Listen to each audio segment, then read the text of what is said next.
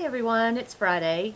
I'm the Crayon Wrangler and we're at the ranch. I'm sitting outside and I'm currently getting bombarded by bugs. So, um, yeah, I may flinch from time to time, but just try to bear with me.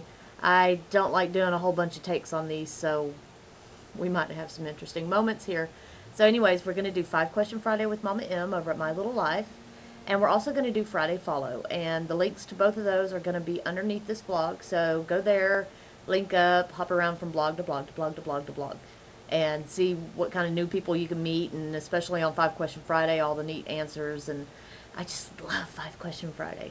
So, oh, by the way, I took some Benadryl. Might be a little bit loopy. Look over me. I swear I'm not drinking or something. It's just the diphenhydramine uh, or whatever that active ingredient is that's so cool.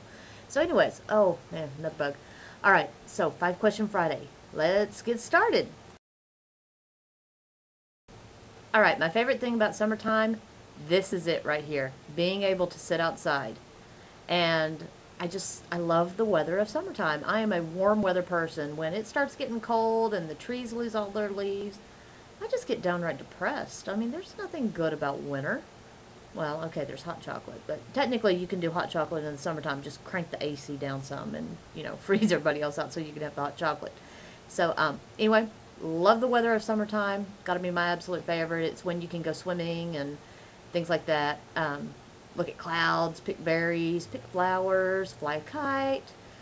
All sorts of fun stuff in the summer. So, I can't pick out one certain thing about the summer. I just, I love summertime. ideal retirement location if money wasn't an object. You know, it's not so much that money not being an object. I kind of just want to be right where I am or wherever my kids end up. I got to be around my kids because I'm praying that they have grandkids. Um, and I want to bug them. I want to just bug them to death and spoil their grandkids and send them home. But, because um, that's what my parents and my husband's parents do to my grandkids. My grandkids. My, my kids. I don't have grandkids yet. Not that old. So anyways, um, I just, I like where I'm at.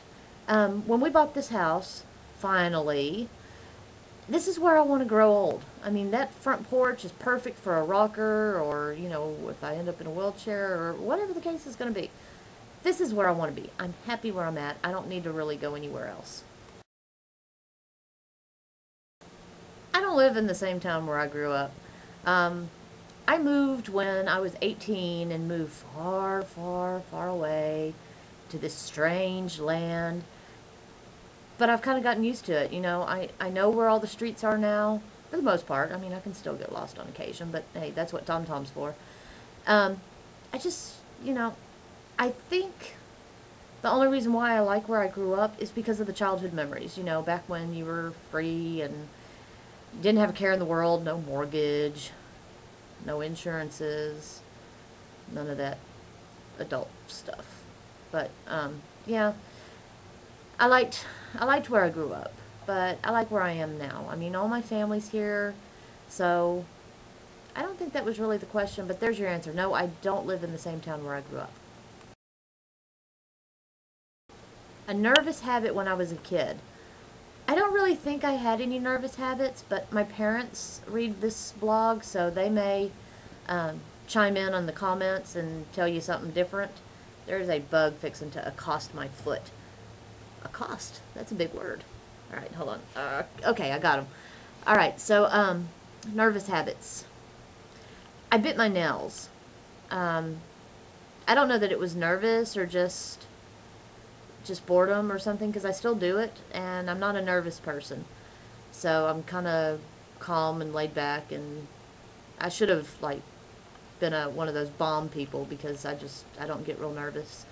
Um, I can get aggravated but not nervous. But I don't twirl my hair or grit my teeth or chew the tops off of pencils or anything like that. So I don't really know that I had a nervous habit that I had to overcome. embarrassing moment while at work. Uh, most of my adult life, um, I've I've worked with my husband. We own a commercial cleaning business, so um, I don't really get embarrassed with my husband. He has embarrassed me, but not at work.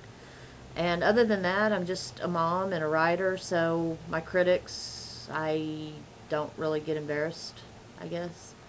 Um, I mean, what's a kid gonna do to embarrass you, anyways? Ah, never mind, never mind. Kids can embarrass you to death. So nothing like the two-year-old grocery store temper tantrum to really just bring the blood to your face and make you want to run screaming.